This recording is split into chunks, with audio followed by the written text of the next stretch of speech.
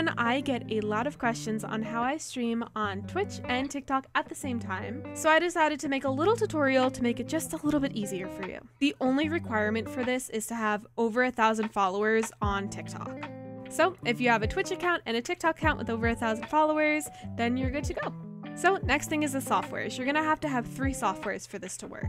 OBS, the OBS vertical plugin, and TikTok Live Studio. If you don't have those downloaded and you need the links to those, the links are down below. Once you download all those links on the bottom, you are good to go to the next step. Assuming you've never used OBS in your life, I'll walk you through this little tutorial on how I do my vertical scene. So under vertical scenes, I'm gonna press this little plus button down here. I'm gonna do hi YouTube, just a little test. And then down here, vertical sources, I'm going to hit the plus button. And then I'm gonna do display capture. You could do game capture, but I don't know. I always like to do display capture and then just fit it to how you would like. And then the second thing you need is your camera. So hit the plus again under vertical sources, and then you will go to your video capture device. And then in this case, I use my Sony a6000. Make yourself smaller up here. And look, we're here. We did it. So once you have your little vertical scene here, you're gonna open TikTok Live Studio.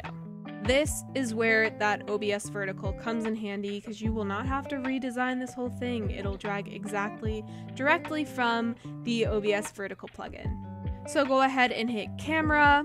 Down here where it says camera, drop down and hit OBS virtual camera and then hit add source. Oh no, this is gonna pop up. It's gonna look broken. You're gonna be like, oh no, I messed up. No, you didn't, you're fine what you're gonna do is go back to OBS and see this little button, it looks like a camera on the bottom right, and then it looks like a little square. You're gonna click that.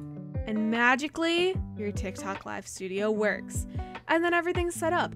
Make sure all your audio is set up too. That, that's an issue I ran into when I first started streaming on TikTok is my audio was never set up correctly.